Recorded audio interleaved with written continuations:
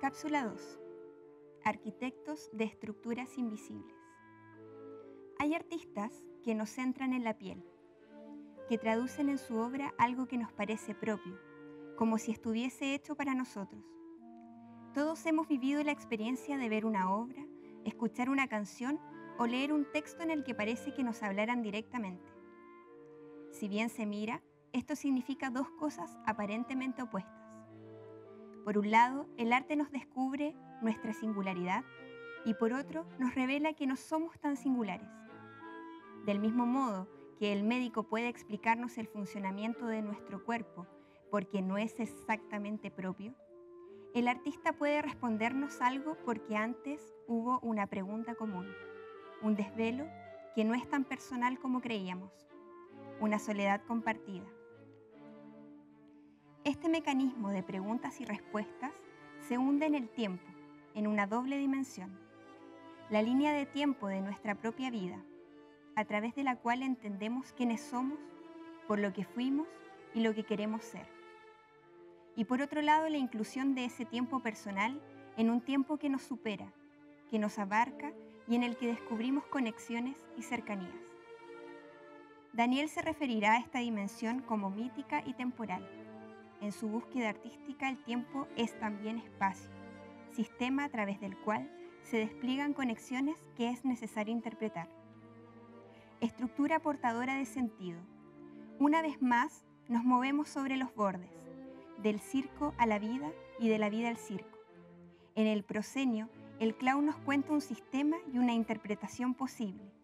Insinúa una estructura invisible que será, en última instancia, la que sostiene todo el espectáculo y lo vincula con la vida.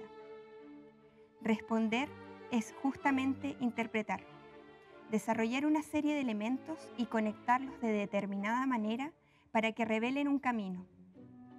Lo primero que advierte Daniel es que en este mecanismo, más que las respuestas, son claves las preguntas. ¿Me casaré? ¿Se cura? ¿Miente? ¿Sospecha del engaño? Son típicas preguntas que uno le hace al destino y busca algún sistema que la responda. Lo, único que puede hacer el arte frente a estas preguntas, más que responder, es repreguntar. Insinuar que es mejor reformular la interrogante para que algo pueda ser revelado. Solo hay pistas. Por eso, el artista debe ser sutil. Su arquitectura debe ser apertura de horizontes que no resuelven sino que insinúan que no clausuran, sino que abren.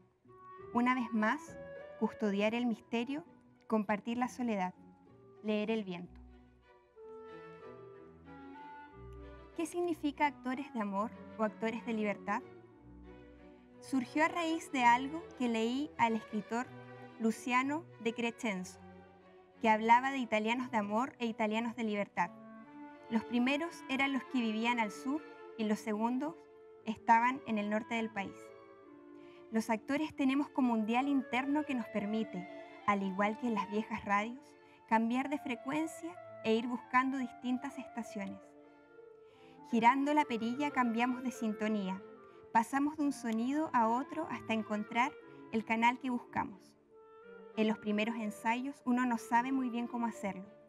Tratas de sintonizar la estación, de repente encuentras la señal. Al otro día la enciendes y se perdió. Así pasa el tiempo hasta que un día ya tienes el automatismo de cómo mover la perilla y llegar a donde quieres. Así un actor se transforma, sintonizándose. El proceso de los ensayos es para generar mecanismos de sintonización precisos, encontrar la frecuencia automáticamente, buscar un modo de identificación rápido. Hay algunos que para cumplir eficazmente este proceso necesitan sentir y otros que necesitan entender. Los primeros son actores de amor, establecen una relación afectiva con las cosas. No les sirve comprender el funcionamiento de su instrumento, las razones que hay detrás de una idea. Para mudarla de frecuencia necesitan agitar su inconsciente. Para ellos el ritual, la magia, son pistas muy adecuadas, propicias. Los actores de libertad, por el contrario, necesitan tener respuestas a sus por qué. Necesitan saber a dónde están yendo, con quién, cuánto va a durar el viaje.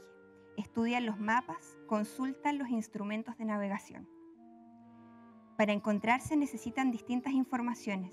Enfrente de una puerta, los actores de amor estudiarán una fórmula mágica con la cual lograrán abrirla. Los otros fabricarán una llave. ¿Cómo se aprende a narrar? ¿Cómo lograr tomar en una historia aquello que quieres contar? El estudio de los rituales me llevó al análisis de la forma y de los procesos alquímicos que entraban en línea de cuenta cuando un par de papas se transformaban en un manjar para los dioses. Surgieron ejercicios de entrenamiento, técnicas de desarrollo de estrategias para encontrar lo que estaba buscando. Escribir para mí es como ir a recolectar champiñones. Hay días buenos y días malos, días propicios y días que no vale la pena darse una vuelta. Hay que levantarse temprano, ser el primero en llegar, tener lugares secretos, proceder a golpes de intuiciones, saber que cerca de un hongo hay otro, como las ideas, las buenas no llegan solas. Escribir, diseñar un espectáculo, es como irse a buscar champiñones. No todos los que encuentras son buenos. Al igual que con las ideas, algunas te pueden echar a perder otras, algunas hasta te pueden envenenar. Las acrobacias de los acróbatas nos van a permitir contar mejor el delirio de ciertas fiestas, los enigmas escondidos detrás de algunos rituales y la pasión con la que una porción de la humanidad juega con su destino. Daniel Fincipasca, Carta a Cirque Eloís, 2002.